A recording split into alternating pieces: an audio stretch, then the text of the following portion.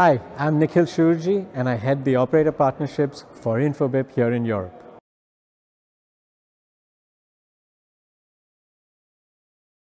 So telcos need to now focus their attention on providing a seamless digital experience for all their customers and actually provide more services than just simple connectivity which they're used to. A lot of the telcos, especially here in Europe,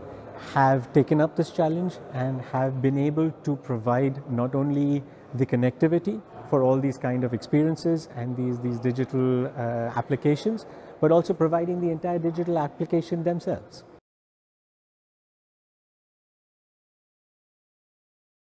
Traditionally, telcos have always focused on providing connectivity and uh, building infrastructure for customers to use. Uh, over time, they've had to think of how to provide a seamless digital experience to these same customers and are now focusing on working with partners and working with emerging technologies so that they can add that onto their current service offering and be able to provide this, this seamless experience to the user without the user actually leaving their ecosystem.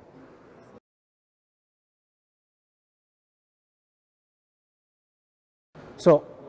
over the last uh, couple of years, the use of 4G has become very prevalent and it has allowed us to use a lot of different channels and applications to make our lives, let's say, simpler or just, you know, make our lives uh, workable in, in a situation like the pandemic.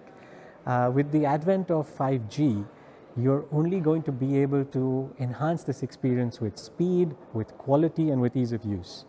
Uh, this then allows the telcos who focus on providing 5G and who utilize it to its potential to actually enhance existing channels, but also provide uh, new channels, uh, not only for communication, but any kind of interaction. And this can easily be added on to the existing omni-channel mix of platforms like us, and then provide a seamless uh, interaction for brands and customers, and still remaining in the same ecosystem as the operator.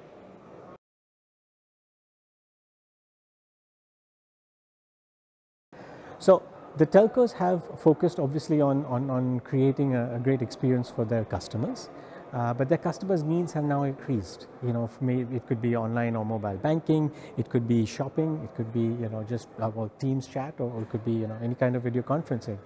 Uh, by teaming up with partners who provide these services, uh, the telcos can either sell through these partners, they can sell with these partners, or uh, they can actually white label it and sell it as, as, as their service. But in doing so, they, they, they, maintain their entire ecosystem and then they provide a very consolidated service and uh, service offering for the users.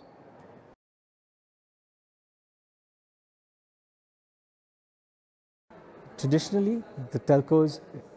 have spent a lot of time and effort in providing a seamless interaction with their customers while still working with partners and platforms and applications. Uh, going forward, if they're able to build it all together into one ecosystem, it makes it a much more enhanced offering, not only to the customer, but also for the platform provider, so that the end service that is provided is, is much, much more of a higher quality. Uh, in doing so, the experience with the users uh, is enhanced uh, it provides stickiness, it, it gives them an instant gratification, and it's something that uh, you know a user will be happy to, to recommend and talk about.